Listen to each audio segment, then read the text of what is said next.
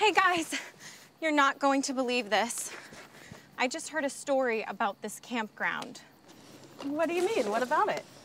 I was just at the bathhouse. I had taken a shower and was brushing my teeth when this woman came in with her daughter. She, she was telling her the story, so I listened in. What's so interesting about this old campground? It isn't scary, is it? Because scary stories freak me out. Don't be such a chicken, Molly. Come on, Ellen, tell us the story.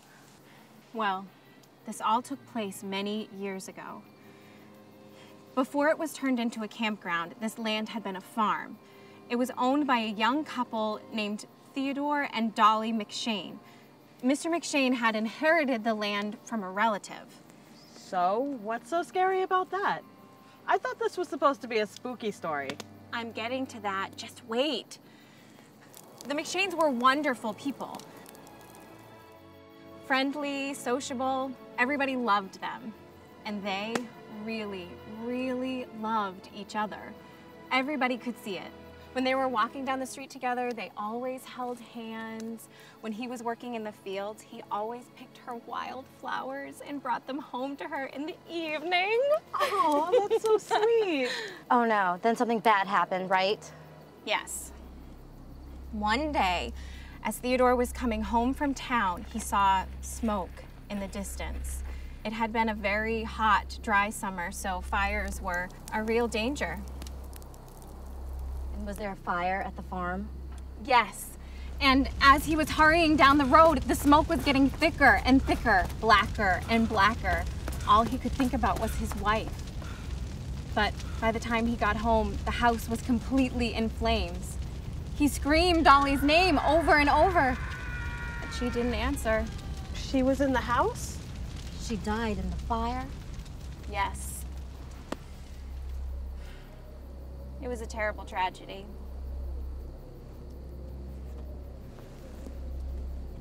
What happened then? Well, the poor man went crazy. He refused to believe that Dolly had died. For months, he searched for her. He walked all day and night through the countryside and through the town, searching, searching. And in his hands, he always carried a bouquet of wild flowers for his poor, dead bride. So, how did it turn out? What finally happened to him? That's the spooky part. It's a mystery. People saw him less and less. And then Theodore McShane just disappeared. No one ever saw him again. But the people who live here say he still walks the forest at night looking for his lost bride.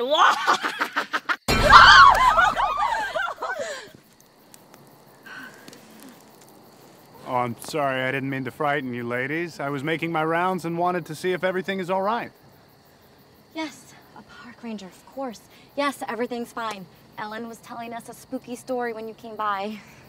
Campfire stories, huh? That's always fun. Well, okay then. I'll let you get back to it. Thanks for checking on us, and sorry about the screams. Oh, that's okay. I'm used to it. Hey, in the morning, you ladies should take a look down that path. There's a field full of wildflowers in there in bloom right now. Very pretty. Oh, that's good to know. We'll do that, thanks.